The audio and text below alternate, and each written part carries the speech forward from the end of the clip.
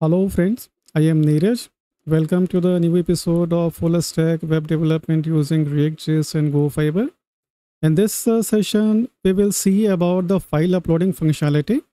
So in our add new record form, so here I am going to uh, add a file upload feature so that user can uh, upload a file from its file system and we will save that file in our server. Okay. So it would be a two-step process. So first of all, so we will need to work on our UI and then we will work on our server side so that we can save the file on the server. So it would be a two-step process and believe me, so this is not too much complex, but yes, so we have to work.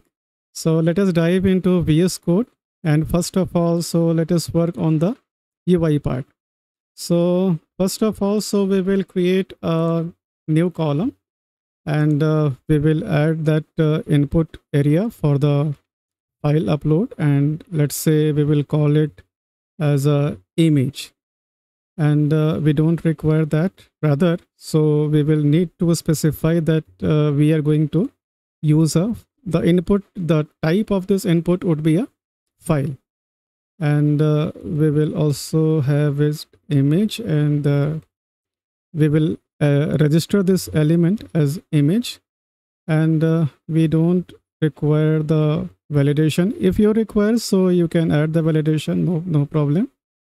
So like this and uh, like this and uh, if we come back to our here so we are having this uh, image image upload type okay?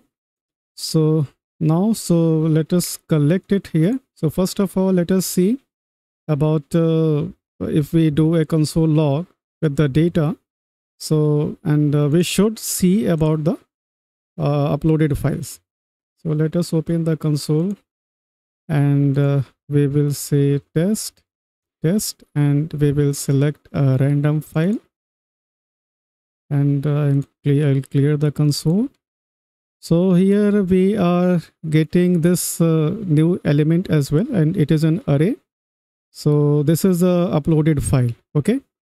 So now let us continue to resume work on uh, our this UI part. So in order to send the file as a payload uh, in the request payload, so we need to specify the header as well in our Axios calls.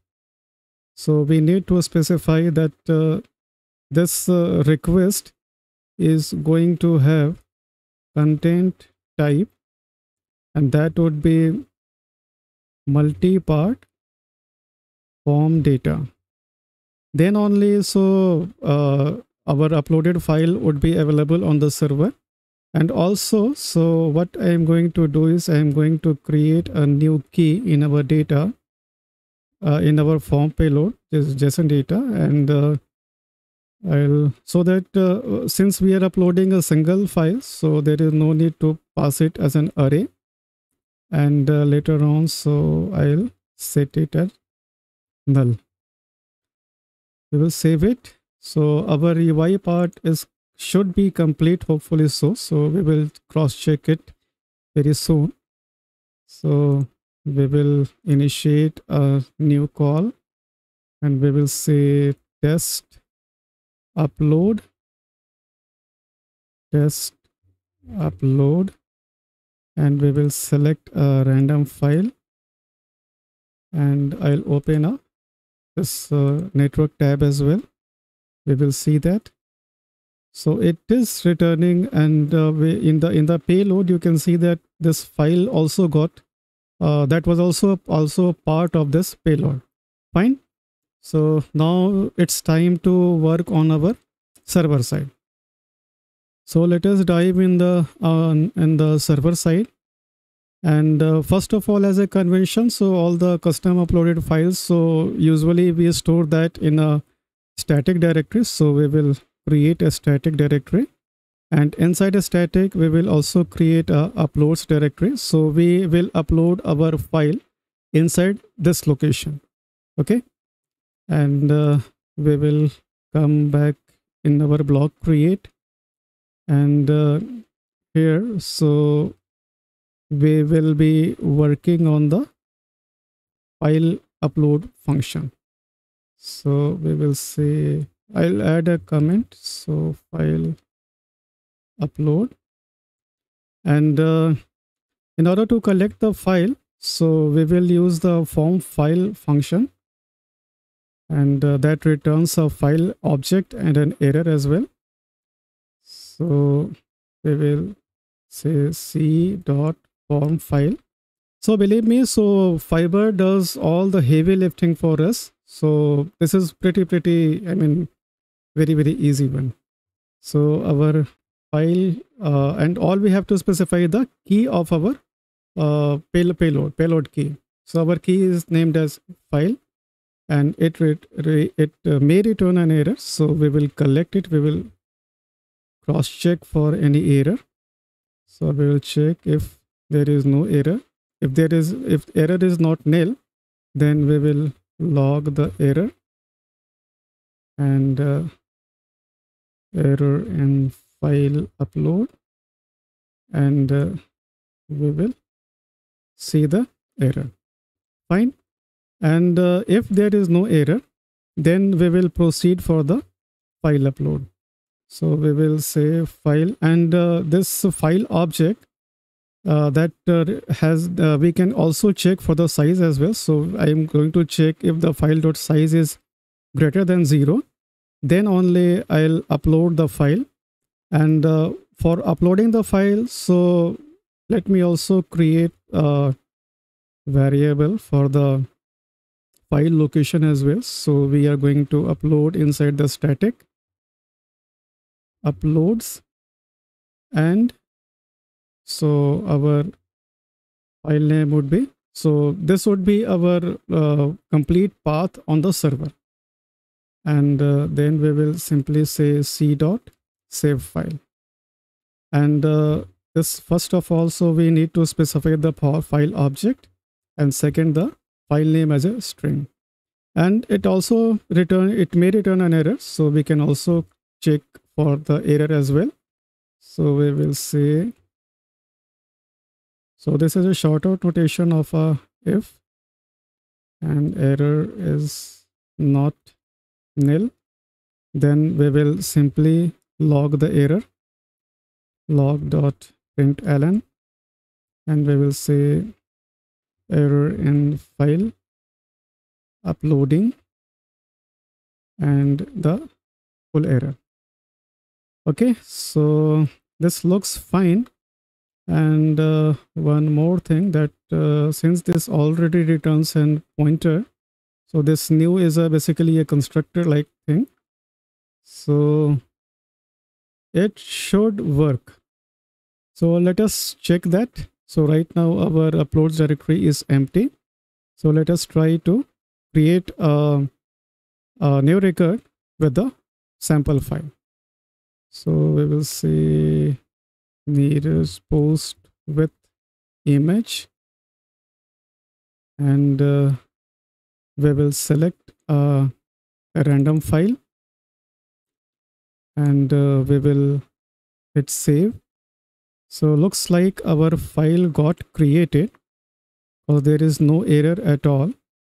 And uh, if we come back, come to here, so looks like our file didn't got uploaded. Mm, let, let us check. Okay, so no such file or directory. Static uploads, static. Okay, okay. So actually this was uh, there was there was a typo. So this is uploads. Yes now it should work.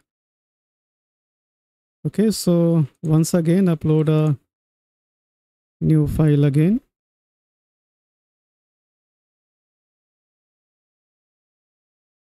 And uh, one more time and uh, we will select a random file.